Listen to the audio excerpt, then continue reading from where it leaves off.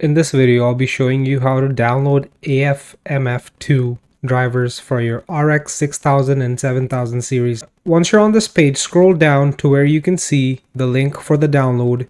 Click on the AMD Software Adrenalin Edition preview driver for AFMF2 for Windows 10 and 11. The link for the website will be in the video description. Once you got it downloaded, go ahead and open it up.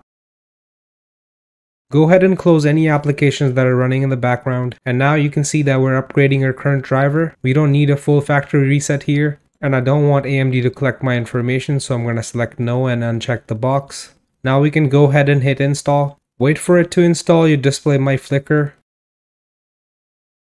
Once the install is done, go ahead and hit the restart button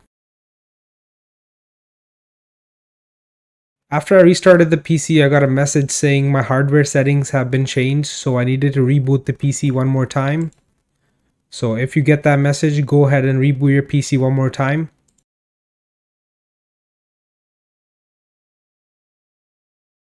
And since this is the first time using our new Adrenalin, it might take a few minutes before it opens up. Here we can see inside the Adrenalin that we are running the latest software.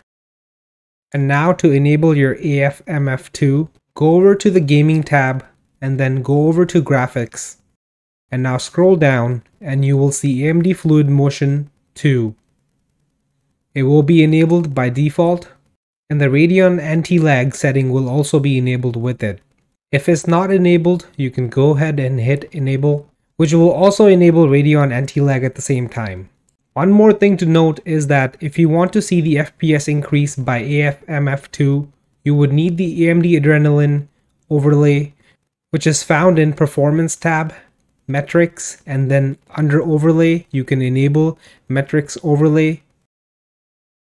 And then you can also enable game detection for Metrics Overlay so you don't have it on all the time and here you can customize it to your liking. And you can also enable additional settings under the tracking tab. I hope you found this video useful. If you did, please hit like and subscribe for more videos like this and I'll see you in the next one. Thanks for watching.